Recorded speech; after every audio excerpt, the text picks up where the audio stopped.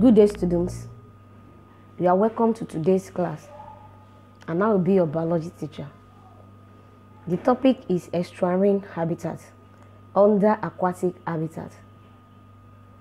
Aquatic habitat has three major types, namely marine habitat, estuarine habitat, and freshwater habitat. We have earlier discussed marine habitats. Now we will be looking at estuarine habitats. Lesson objectives. At the end of the lesson, students should be able to 1. State the characteristics of estuarine habitat. 2. List the types of estuarine. 3. Explain the distribution of the plants and animals in estuarine habitat and describe the adaptive features of plants and animals in estuarine habitats.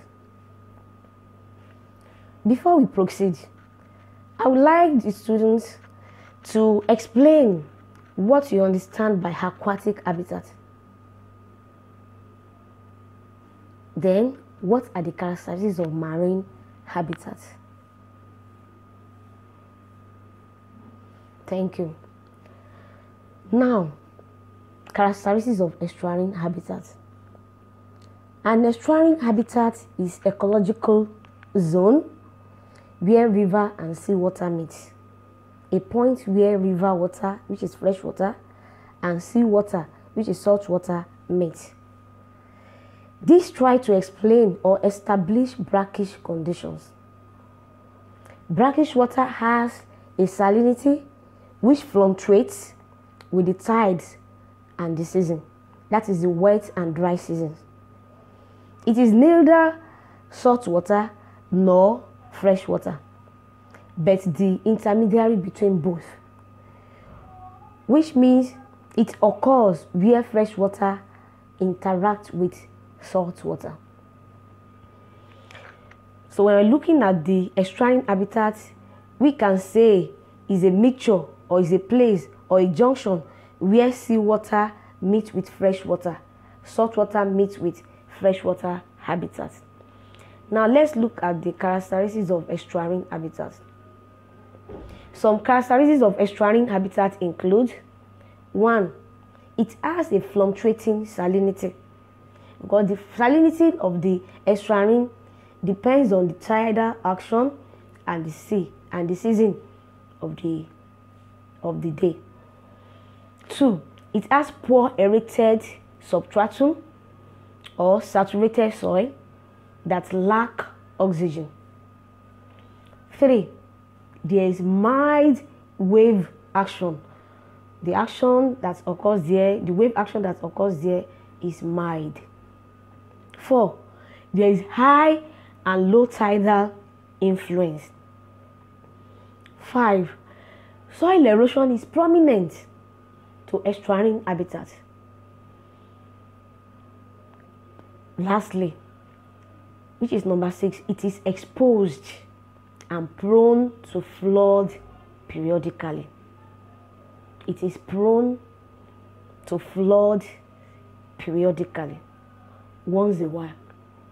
Now, let us evaluate ourselves a little on what we have discussed so far. Students, define estuarine habitat. Tell us what estuarine habitat is. Two, I would like you to outline three characteristics of estuarine habitat. At least three characteristics of estuarine habitat.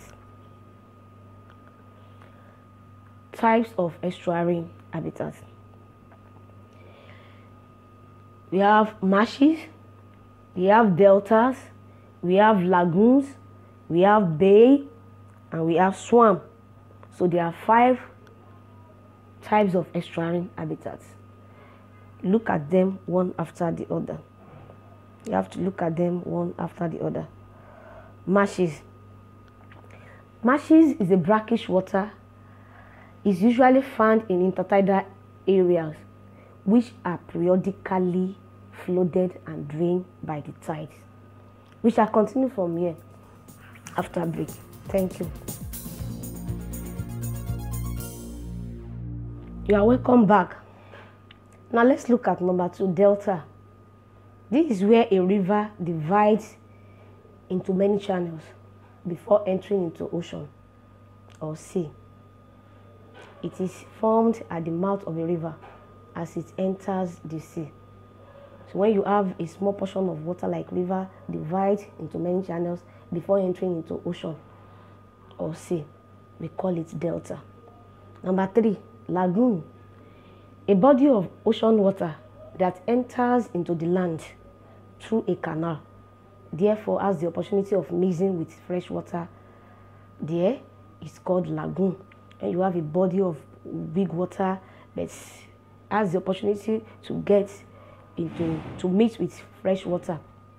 Then we call it lagoon. Then the fourth one is bay. Bay is a small body of water which enters into land and mix up with the fresh water from rivers and streams. So we have a, a small body of water, like a, a small portion of the seawater that enter into land and mix with that fresh water there. We call it bay. Then the fifth one is swamp. A swamp is wetland. It's vegetation. And you're looking at it, we think that it's, it's a land habitat, but it's a wetland with vegetation found in temperate and tropical regions. So brackish water marsh is usually found along coastal areas or intertidal areas which are periodically flooded and drained by the tides. Now students, can you mention at least three types of estuarine and explain? Mention at least three types of estuarine and explain. Thank you. Now, let's continue. Types of estuarine based on salt mixing. Types of estuarine based on salt mixing. There are three types. We have three. We have the following under this category: A. Salt wedge estuary. B. Vertically homogeneous estuary. C. Partially mixed estuary. Take a look at this diagram.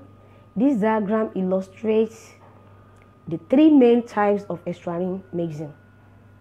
Tides, wind, wave motions, and river runoff all and river runoff all contribute to create various water conditions within estuaries. Salt wedge estuaries such as the Mississippi Delta exist where the river current exceeds the tidal current. Then equal river and tidal currents such as those in the Chesapeake Bay create a partially mixed estuary, which is the second mixing uh, type.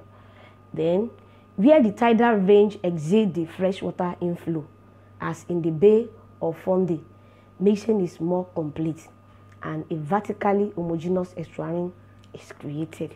So when you have there, it is what creates them depends on the tides, the wind, the wave motion, and the river runoff that occur among them.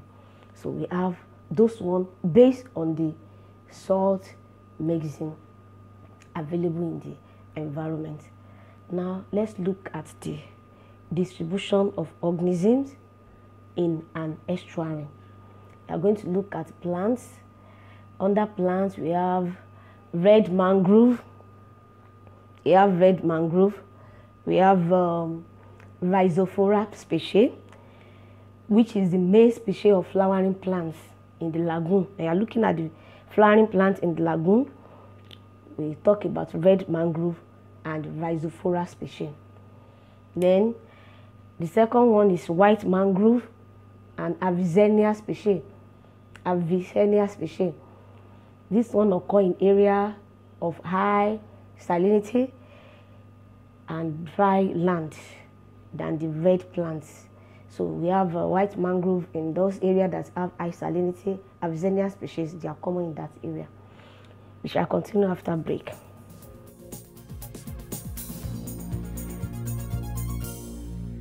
You are welcome back. Another examples of plants found in uh, estuarine is plankton. Plankton are microscopic plants, plankton protists such as diatom and filamentous algae. The fern plants are also found in the estuarine. Examples of that fern plant is acrostichum aureum so then can you pronounce that? Acrostichum aureum. The only fern able to withstand salt water. That is the only fern plant that is able to withstand salt water. So they are found in the estuarine. They grow in this habitat. Then we also have numerous grasses like Paspalum, Paspalum species. Paspalum species. Now, let's look at the examples of animals that are found in estuarine we have invertebrates, we have birds, and we have mammals. Examples of invertebrates, we have mating crab, starfish, arenicola, mud skipper, lancelet, barnacles. Those are the examples of invertebrates. These animals are commonly found in the estuarine or lagoon because they can withstand salinity variation.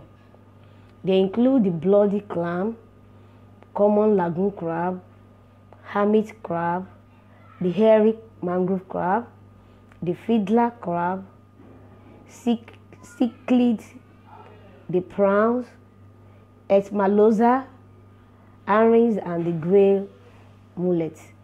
All these are examples of the animals that are found in uh, the estuarine.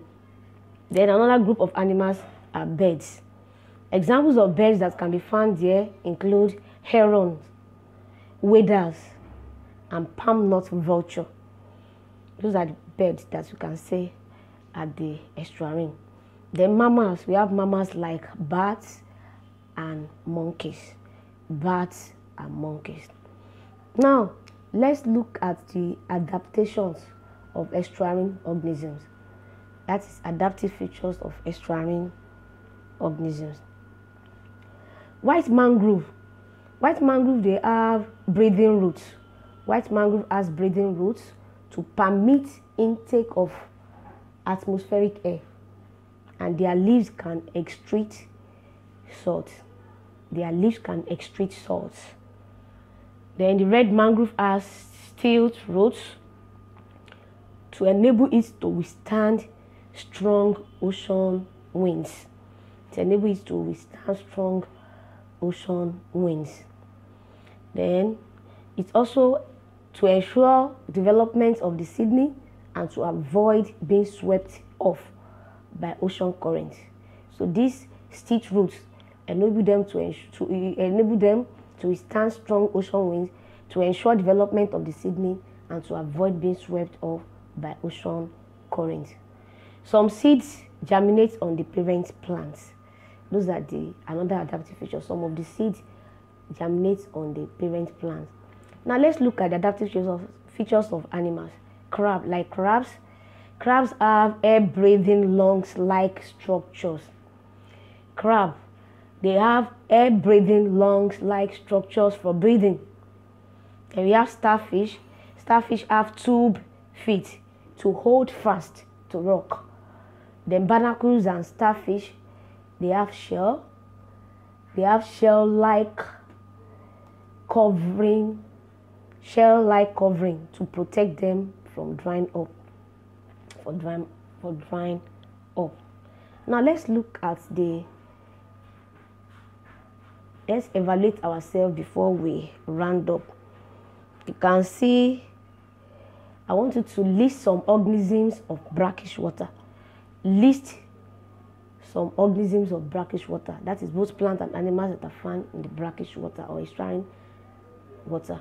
Then I want you to write to each of the adaptation of plants and animals in estuarine habitats. Now, assignment for you. Write a short note on the types of estuarine with examples. Thank you.